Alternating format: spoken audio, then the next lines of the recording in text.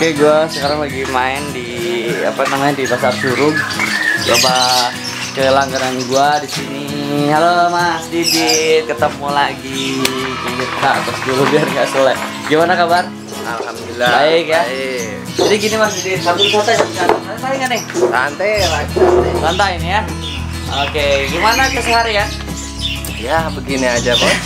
gini aja ya ditemani dengan burung-burung Iya. gitu eh Mas Didit udah tahu belum sih eh, beberapa minggu lalu gua tuh bikin video ya video tentang burung terucuan gitu itu sampai viral banget itu oh Mas Didit menyediakan ya? Menyediakan buat om Jokan apa yang setengah jadi, apa yang nggak ngopel gitu. oh jadi beda-beda burung juga ya Beda. udah kayak robot aja gitu ya Iya. oh gitu tapi kalau boleh tahu nih kalau harga harga dari harga dulu ya. Itu harganya berapa sih Mas? Kalau yang om Jokan paling murah sih, murah? Paling 30 gocap. Tapi Oh. kalau udah jadi ya sampai ratusan. jutaan juga ada kemarin. Iya makanya gua gue jadi pengen eh, apa namanya punya burung terucukan ya kan? Itu yang bisa siapa tahu kan bisa harganya kemarin teman gue itu ada bilang nyebut 10 juta apa nggak Ya, tergiur ya kan dan eh, apa lombanya pun udah mulai rame Rame. juga Eh, kalau boleh tahu mas Didit eh, apa namanya bedanya harga itu kan tadi ada beberapa jenis tuh. Kayak ada yang ombyokan jadinya kalau ombyokan itu bedanya apa Kalau om Jokan mah ini eh, masih bahan lah istilahnya. Gitu. Oh, gitu. Masih diom Jokin itu biasanya eh, memang tangkapan liar mungkin ya tangkapan liar. Oh. Eh, kalau tangkapan liar itu masih banyak gitu ya? Masih, kalau di Jawa juga masih ada. Di Jawa. Jadi kayak itu eh, apa namanya? Di di alam-alam di Jawa ini masih banyak banget berarti. Masih banyak, cuman ya eh, tempat-tempatan gitu Oh, tempat-tempatan. Nggak semua ada. Hmm, iya iya iya iya. iya. Kalau itu kan jual ombyokan. Ah. Itu kalau jual anak kan ada nggak sih yang misalnya masih anak gitu? Ada, cuman Ada. biasanya malah cepet lakunya kalau yang masih nyuapin mah. Oh, harganya beda. Agak mahalan. Agak mahalan. Oh, dibanding yang ombyokan. Emang kenapa? Bi- Bisa bisa Kan kalau dari anakan kan bisa dilatih. Hmm. Pasti istilahnya pasti jadilah gitu. Kalau biokan kan agak prosesnya agak lama juga. Oh, biasanya orang tuh kalau ngobiok itu dia nyari apa ya sih? Cuma nyari jenis kelamin atau nyari yang udah mulai eh, apa namanya makan ngepur atau apa gitu? Nah ya nomor satu pasti udah ngebur lah. Oh ngepur. Oh. Keduanya di pantau itu ada ngeropel-ngeropelnya dikit. Oh, rata-rata kayak gitu ya. Bodinya yang agak gede.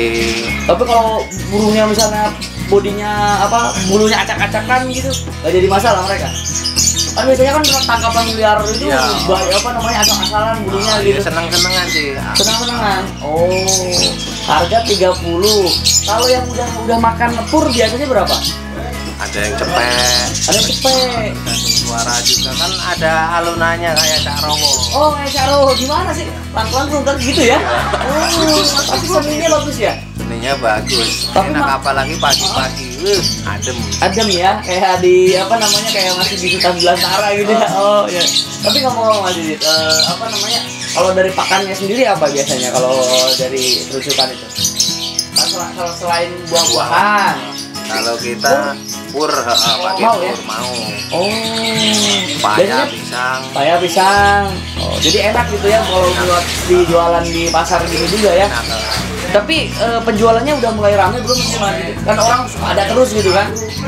Sekarang nih udah mulai rame lagi nih. Dari Sekarang udah mulai rame lagi. Ya, kemarin juga datang 20 ekor dua hari habis.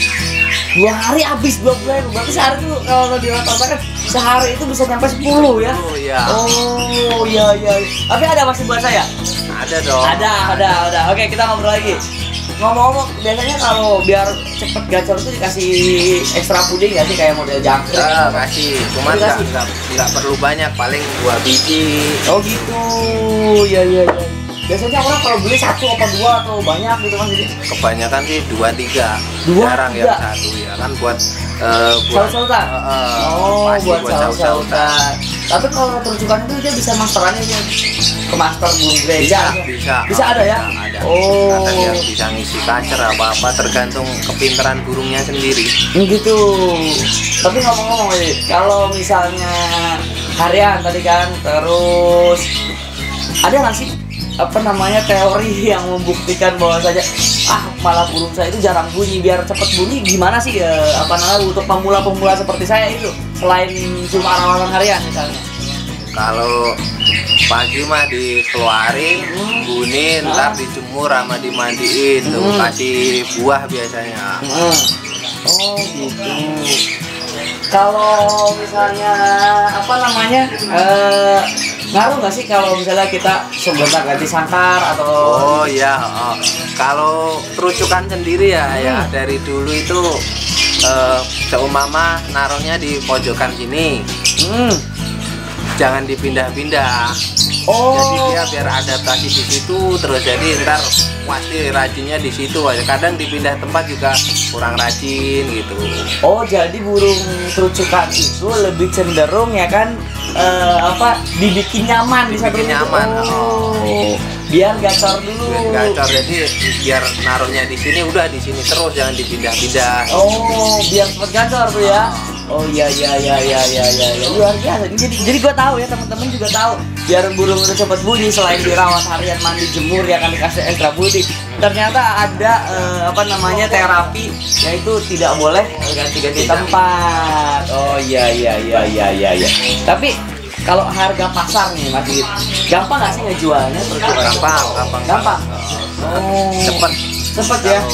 Pasar. Oh ya, gue sih hari ini pengen pengen nyoba dulu beli terucukan. Siapa tahu ntar kalau di Gataran ada yang bagus, kita tetap aja transaksi juga dong ya. Karena terucukan dengan cucak hijau hampir sama-sama ya. Ah. Jadi agak sedikit mirip teman-teman. Terus dia penyakitnya juga sama ngedidis Iya, lah, ya kan turun lah, ngembang lah hampir sama ya kan. Mungkin Sama. the next cucak hijau adalah terucukan. ya. Oke oke oke oke oke. Tapi boleh boleh lihat ya eh, apa namanya yang udah disisihkan itu yang bagus itu Mas Didit cucukanya. Ada? Ada. Ada. Sulawnya Mas. Oh, belah sini. Oh, ini kenapa di bawah Mas? Kan tadi habis dimandiin. Oh, dimandiin. Atas. Oh, iya. Udah udah garuda garuda ini ah. Udah apa? Udah garuda garuda. Oh, jadi gayanya udah garuda-garuda gitu. Oh. Iya iya iya iya iya iya. Ya. Ini sangkarnya kotak. Kalau sangkar buat bisa nggak sih? Bisa. Bisa. Malah tembik. Bagus. Oh gitu nyair. Oh dikasih pisang ya lebih Ya. bagusnya. Oh iya karena di alamnya dia eh, pakainya pisang kan. Eh, itu purnya pur kayak pur ayam gitu mas. Hah? Mau dikasih pur bagus ntar ini takut apa? Jadi mahal ya. Jadi mahal ya. Burung di apa namanya di pasar curug terucukannya mahal ya kan. Oh iya. Tapi ini udah ngepur ya. Udah. Kita bisa lihat ee-nya juga udah bisa udah lihat ya. ee-nya juga udah pur tuh kelihatan. Oh. Kalau nggak dikasih pisang pasti makan pur sih. Kalau nggak dikasih pisang Pasti ngepur. pasti ngepur. Oh. Biasanya nih kalau misalnya kan gue baru bawa nih ya kan. Itu berapa lama sih Mas Didit eh, apa namanya langsung bunyinya gitu. Kalau yang penting dia di rumah udah nyaman ah. Ntar Oh. masalah ngepur mang biasanya dua hari juga langsung ngepur kalau terus cuman gampang.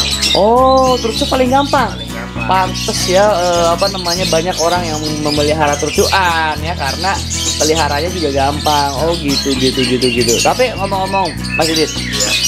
Eh, teman-teman kalau misalnya mau beli ke sini eh, ada terus ya? Ada. Oh ya, berarti ini udah sekarang ada seleksinya ya. Ada apa namanya? Kemudian Om Yoga. Om kan? Terus prestasian, oke oh, prestasian jarang karena jarang ada. Eh, prestasi kan sama bahan mungkin ya. Oh gitu. Harganya dimulai dari 30.000 ribu aja. Asik. kan paling 150. oh gitu. Oh lebih mahal. Oh karena ada seninya juga ya kayak ngelolohin ya. Oh Dan gitu. itu pasti burungnya jadi kalau dari ngeloloh mah pasti. Oh gitu. Kalau ini berapa nih? Ini gua mau beli lah. Gak apa-apa yang ini yang bahan nih. Kalau ini udah kena cepet ah. Gila cepet. Udah bukan om kan ya. Oke, nggak apa-apa ya teman-teman. Gue pengen nyoba. Buat teman-teman terucukan, mudah-mudahan gue mau beli burung ini ya di pasar Curug ya teman-teman. Kalau mau beli silahkan sini. Katanya di Garuda Garuda. Itu tinggal dijinakan aja. Terus nanti kita mau latberan juga mudah-mudahan di daerah Tangerang latberan kita banyak juga ya karena terucukan mudah didapatnya ya kan perawatannya juga mudah. Oke, thank you yang udah watching. Hari ini gua beli burung terucukan di kios Mas. Di Deep Jogja yang ada di dalam pasar ya di dalam pasar ini pasti ada. Burung apa aja ada ini lagi pada kosong nih. Ya, ini hari biasa belum mendekati weekend. Kalau udah dekat weekend ini udah mesinnya udah penuh ya ini udah banyak. Kita pengen transaksi. Ini tadi berapa mas Dit?